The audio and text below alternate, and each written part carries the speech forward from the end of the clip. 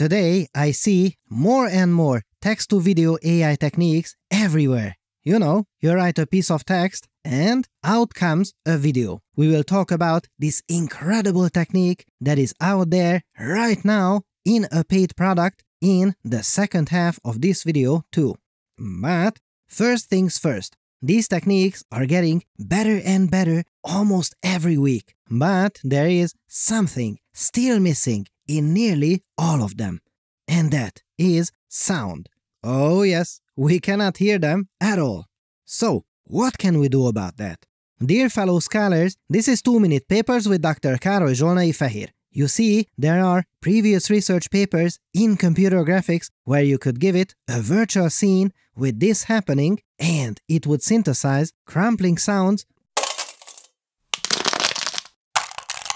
or for fluids with bubbles.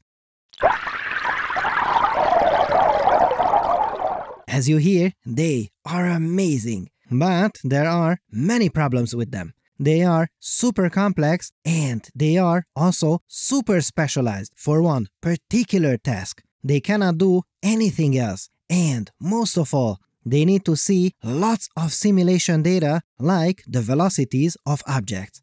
Just the video is not nearly enough. That's a bummer. However, this new AI technique is capable of looking at a video like we humans would do and synthesize what it could sound like.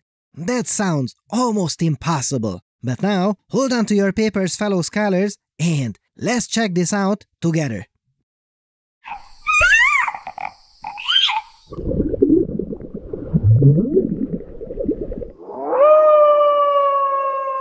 Wow! Yes, this is a fantastic first crack at the problem, but wait, it gets better. I was especially interested in seeing what it does with footage where it really has to understand the timing of the movement to even have a fighting chance. Let's see.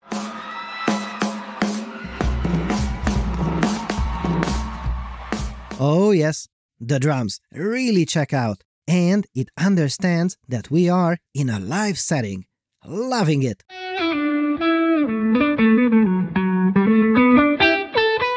The guitar was a bit less crisp, but it appears to understand when a string is being picked and roughly what sound it should make. Same with the movement of this pedal.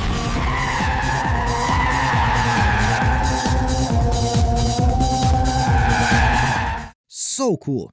To the best of my knowledge, it will be available as part of Veo Google DeepMind's text-to-video technique. There's a link to it in the video description. By the way, I really like how they are using a diffusion-based approach to generate audio. For earlier techniques, this meant that it started out from noise and over many steps, this noise is reorganized into an image or video, or in this case, even sound.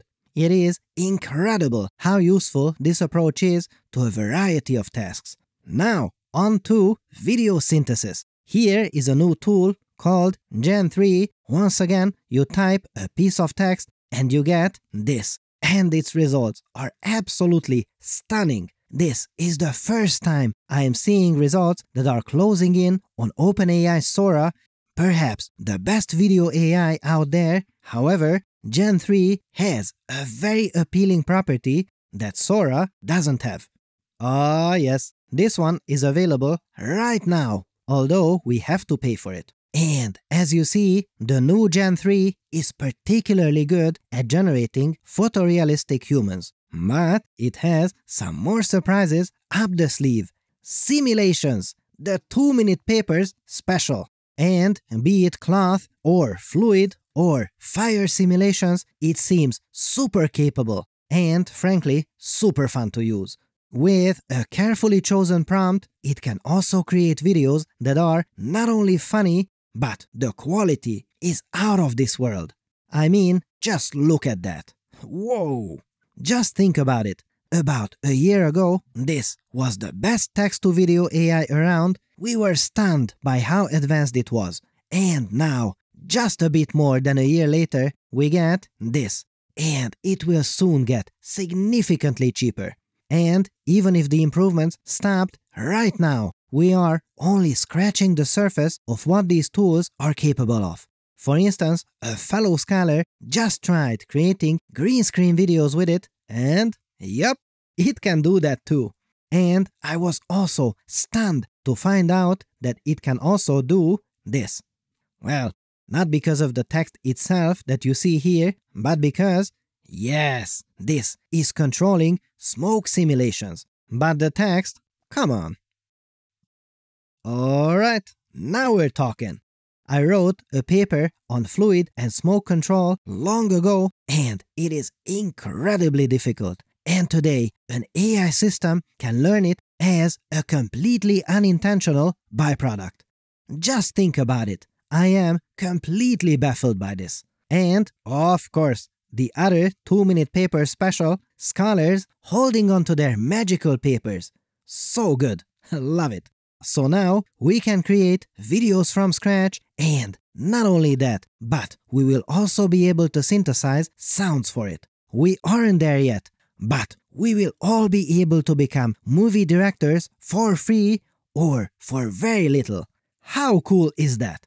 What a time to be alive! So, what would you make with these? Let me know in the comments below. Also, after a long, long time, we might be able to onboard a new sponsor for the series. If you are interested, there's a link for you in the video description. We need new tools for the era of LLMs and Weights and Biases now has Weave, a lightweight toolkit to confidently iterate on LLM applications. Use traces to debug how data flows through each step of your app and use evaluations to measure your progress. It is the best. Try it out now at wandb.me slash papers or click the link in the description below.